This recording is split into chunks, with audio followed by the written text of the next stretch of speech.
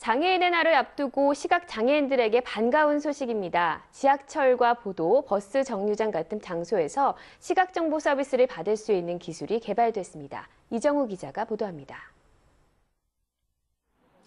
시각 장애인들이 일반인과 달리 길거리에서 친한 사람을 먼저 알아볼 수 있다는 것은 즐거움이자 또 다른 기쁨입니다.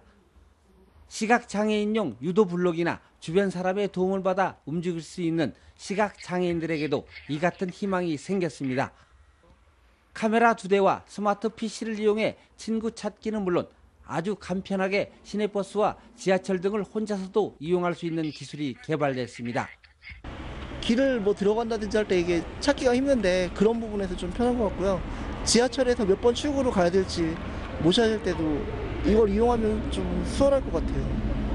지팡이에 의존한 채 유도 블록을 따라 주변 사람들의 도움을 받아야 간신히 버스나 지하철을 탔던 시각 장애인들이 두려움과 불편을 크게 덜 수 있게 된 것입니다. 한마디로 시각 장애인용 내비게이션입니다.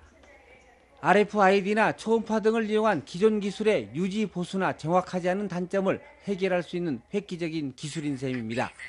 시각장애우가 버스, 버스 정류장이나 지하철역 등에서 어, 존재하는 자연스러운 정보, 화살표, 기호, 문자 등을 인식해서 음성으로 안내해주는 그런 기술입니다. 자연 영상에서 문자나 숫자, 기호 등을 정확하게 인식하는 영상 처리 패턴 인식 기술과 신호 처리 기술 등이 핵심입니다. 시각 장애인들의 이동을 편리하게 도와줄 이 기술은 다른 기술과 융합할 경우 로봇 등 신산업 창출에도 도움을 줄 것으로 보입니다. 국내 특허 13건을 출원한 이 기술은 국내 기업의 기술이 이전돼 내년 상반기에는 상용화될 것으로 전망됩니다.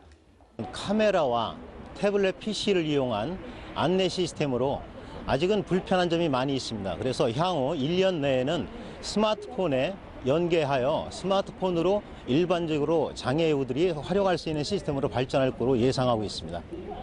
순수 우리 기술로 개발된 맞춤형 시각정보 안내 시스템.